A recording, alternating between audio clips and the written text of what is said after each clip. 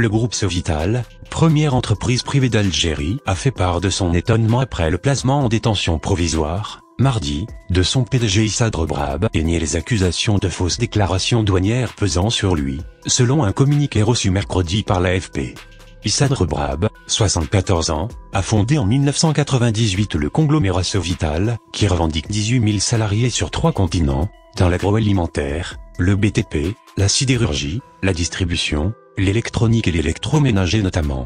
Le magazine Forbes estime sa fortune à 3,8 milliards de dollars, la première d'Algérie et la sixième d'Afrique. Depuis la démission le 2 avril du président Abdelaziz Bouteflika, sous la pression d'un important mouvement de contestation populaire, la justice a ouvert des enquêtes contre plusieurs hommes d'affaires liés à l'ancien clan présidentiel.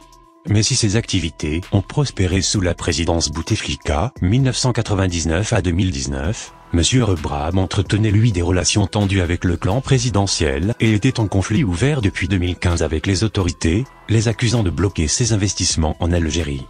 Nous exprimons notre étonnement face à cette mesure inattendue, indique dans ce communiqué les groupes, qui souligne que les accusations visant Monsieur Rebrab ne concernent ni une affaire de corruption ni de détournement ni de dilapidation des données publiques.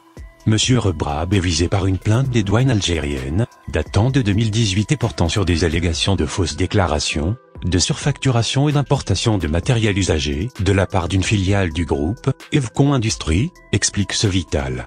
Cette plainte a été déposée sur la base d'une seule et unique expertise, effectuée à la demande de la direction des douanes, poursuit ce Vital. Les équipements mis en cause, de dernière technologie, et fabriqués exclusivement et sur mesure pour un projet inédit de production d'eau ultra pure et de traitement des eaux.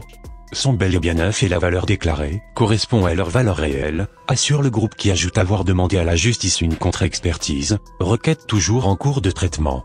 Propriétaire en Algérie du grand quotidien francophone Liberté, Sovital a notamment racheté en France le groupe électroménager Brandt et le fabricant de portes et fenêtres Oxxo. Il y a également un projet de création d'usine de traitement de l'eau dans les Ardennes. En Italie, il a racheté en 2015 les aciéries de Piombino, ex-Lucchini, avant d'être contraint par le gouvernement italien, qui l'accusait de n'avoir pas honoré ses engagements, de les céder en 2018 à l'Indien GSW Steel.